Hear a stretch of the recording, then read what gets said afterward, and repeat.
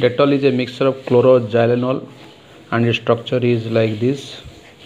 You see there are two CH groups are connected to this phenol and chlorine is there and this is terpineol.